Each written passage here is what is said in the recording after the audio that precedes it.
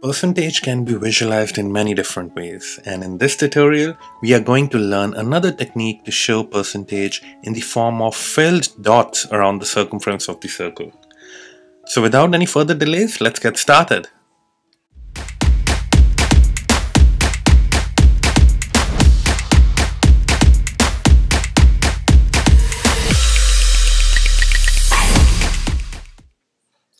Welcome back, this is Gurpreet from DataViz Canvas and in today's tutorial we are gonna learn about an another technique to show percentage in Tableau.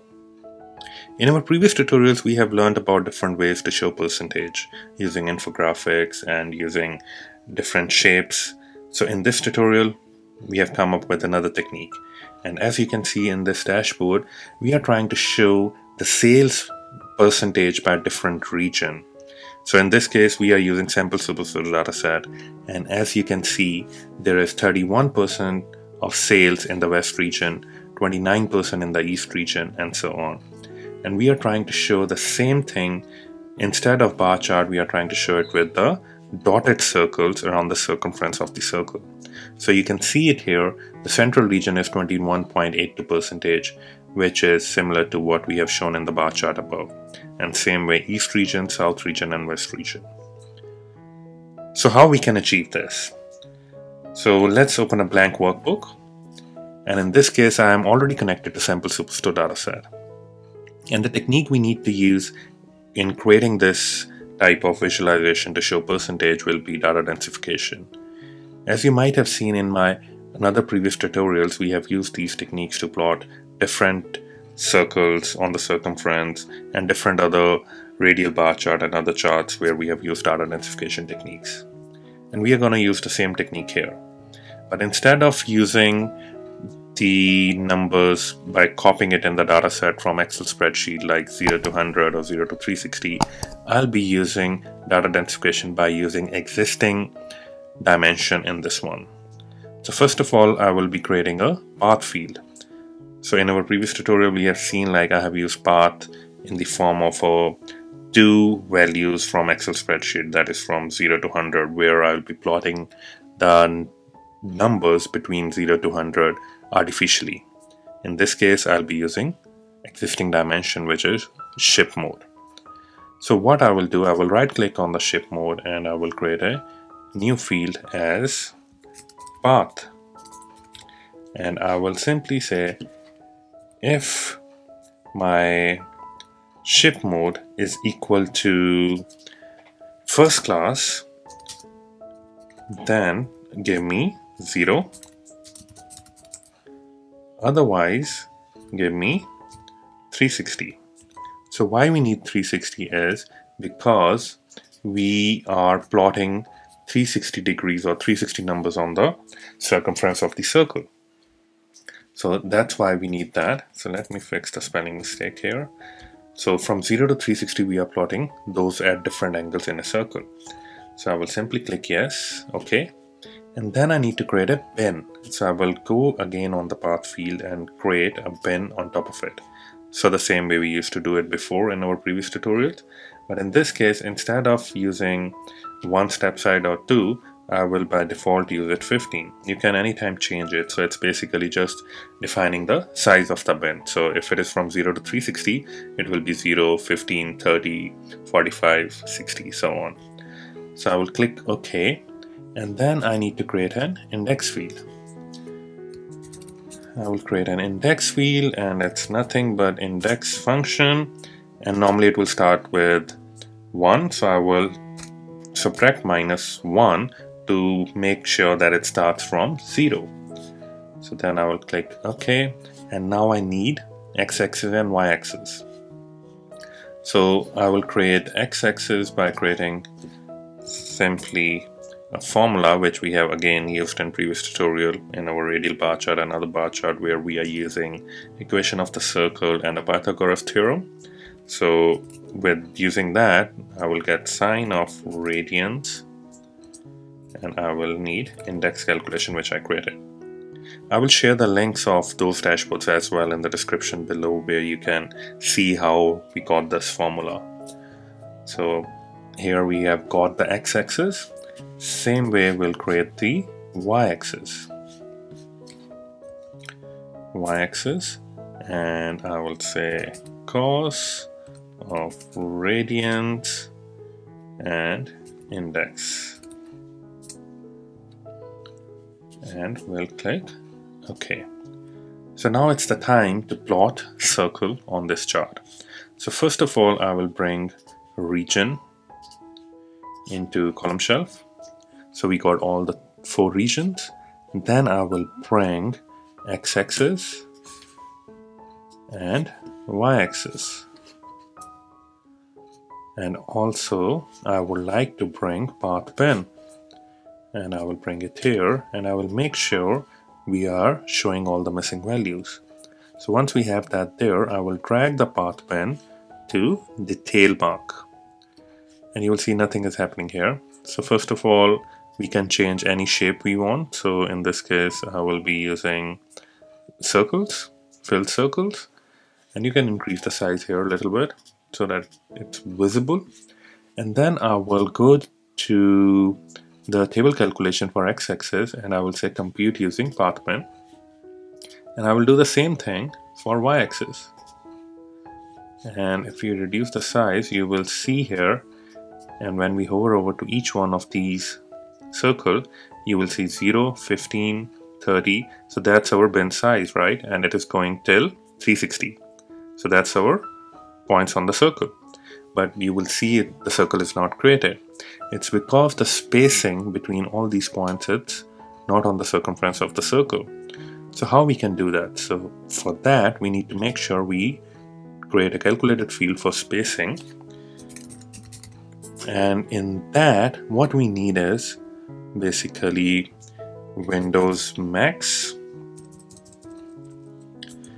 for our path. So what we are saying when we type this so in our path, our maximum value is 360. So we are getting that 360 value. And we are saying we need to divide that by the maximum value of the index. So we will say Windows max and we want to divide it by maximum value of the index. So think of it this way, like if we have 360 points on a circle and there are only 10 different points we need to plot on a circle, then we will say 360 divided by 10 and we will show all the different spacing angles at which a, a point should be spaced. So that's why we are dividing it by the maximum value of the index. So once we do that, we will simply click OK. And then we will change the calculation in the x-axis. So we will simply click on x-axis and we will edit the calculation and we will go here and multiply it by spacing. We will do the same thing for y-axis. We'll go and click edit and multiply this by spacing. Once we do that, you will see everything is changed back into dots. So now we have to edit the x-axis and y-axis table calculation and we will compute it using path bin and we will do the same thing for y-axis and change it to path bin and you will see the circle started to appear. So that's that's pretty good. Now we want to just display the percentage and color only part of the these dots to make sure that the percentage is displayed properly. So for that, we will create a calculation for sales. And we will simply do window sum. And we will do sum of sales. And we will copy this calculation and we will create another calculation of total sales. And we will click OK. And now we need to create a percentage. So we will do percentage. And what we will do here is we will see say sales divided by total sales and it will give us the percentage. So now what we need is to display the color of the percentage separately to the color of the background. But before that, let's bring percentage into column shelf and we will make it to discrete. We'll bring it so you can see it here uh, and we will change the format to percentage. And even before that what I want to do is let's bring let's remove this first and let's bring another calculation which will be for our color field. So I will simply say here if our index of window calculation Windows Max index calculation, this divided by this, it will give us a percentage value. So let's say if our index is 10 divided by 360, it will give us a percentage. And we are saying if that value is less than the percentage which we have calculated, then give me the Windows Max of the region. So that will be the maximum value of that region. Uh, it will be giving it to me. Else keep the color gray. So let's do that and bring that color into the color shelf. And you will see here the color is only shown for one dot which is not right. It's because of the table calculation. So I will click on the color. And first of all I will change the path using pen. And you will see all these are different colors. This is because of the calculation which we did in the color where we said give me the Windows Max of the region. So that is giving me unique value and that's where we are getting different colors and the one color is gray which we will change by just clicking on that and I want to use a gray color. So now we need to do another table calculation editing. We will go here and we will select total sales and I want this by region and you will see now the colors are only dotted colors are only shown for the part of the percentage. But now we need to know what is the percentage, right?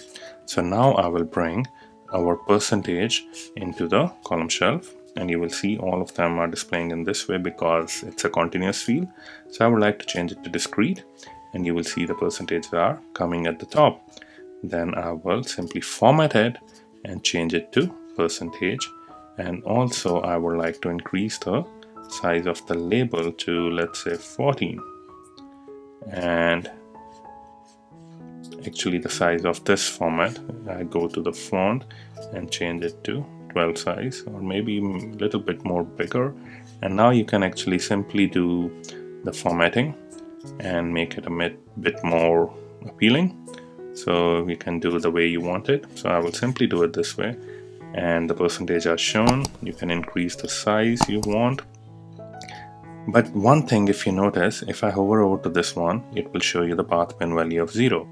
But if I show hover over to this one, it's 345. And 360 is overlapped on this particular value. So there are two values if we look into here, two items are selected. So how we can change that? It's because of the spacing, right? The spacing we are doing it at a different angle and the 0 and 360 is at the same point. So we just want to edit the table calculation and you can multiply it by 0.96 which I have calculated. And once I click that you will see these dots will be moved slightly. And when I click apply you will see they are moved a little bit on the left side. And now this value 360 which was overlapping before now they are separated. So that way you can create this percentage chart. And you can also see that the percentage are same by simply bringing region into column shelf and bringing sales. And we will simply show it as a bar chart. And I want to show sum of sales as percentage of total. And I will show mark label. And you can see it here that all these percentage are 21.82 29.55 and that way. And this is exactly same what we are showing it here that's how we create this dotted chart to show a percentage in a different way. I hope you guys like this session and if you have any question, please feel free to drop a comment below and I will try to get back to you as soon as possible. Thank you. See you next time.